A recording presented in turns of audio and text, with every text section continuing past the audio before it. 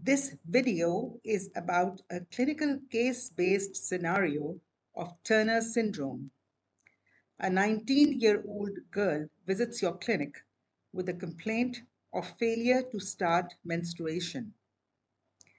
The mother tells you that she had a prenatal diagnosis because of swelling behind her daughter's neck at 16 weeks pregnancy duration.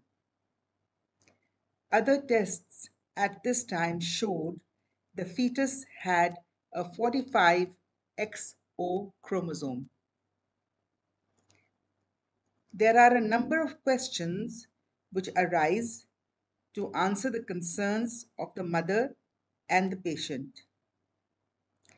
These questions relate to fertility, medical problems, menstruation, and any kind of treatment. So we move on to the first question. What is the name of this condition and what was the swelling the mother is referring to? The patient has Turner syndrome diagnosed based on one X chromosome's partial or complete absence.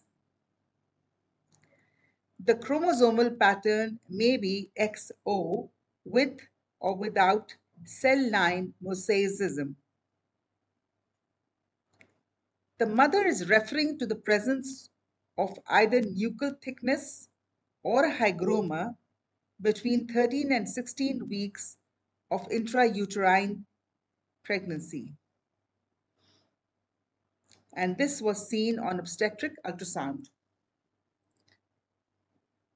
This is one kind of the marker that is seen in a fetus with a risk of Turner syndrome. Other ultrasound markers include cystic hygroma, hydrops fetalis, congenital heart defects, the most frequent being aortic coarctation. The clinical diagnosis is based on antenatal testing for chromosomes.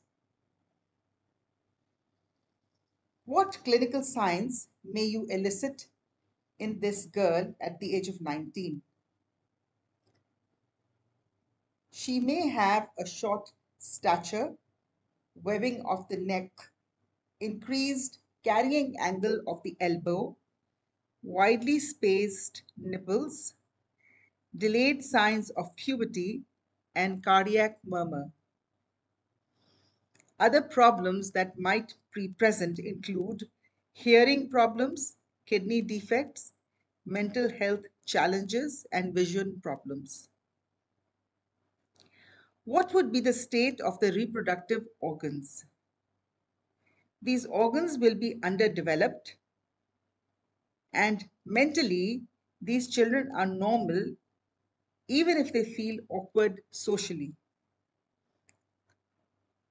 What other investigations will you offer her and why? A serum follicle stimulating hormone level and LH level will let us know whether the girl has hypogonadotropic hypogonadism or premature ovarian failure. The girl should also be referred to a physician to diagnose the presence of medical disorders and to understand how severe these disorders are.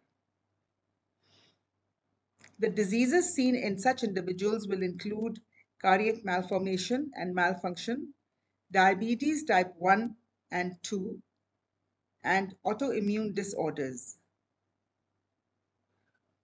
What advice will you offer her about her future fertility? These children may have delayed puberty and fertility. They may sometimes become pregnant spontaneously but have a higher pregnancy loss rate. They can also become pregnant with ovum donation, but pregnancy by itself carries a very high risk, especially in the cases where there is severe diabetes and or cardiac disease. What treatment can be given to enhance the development of secondary sexual characteristics? In combination with progestogens, estrogens will enhance breast growth and make the vagina functional for sexual activity. With this, we come to the end of this video. If you like this video, then please subscribe, share, and comment, and send us your ideas about topics on which you would like to see more videos. Thank you and goodbye.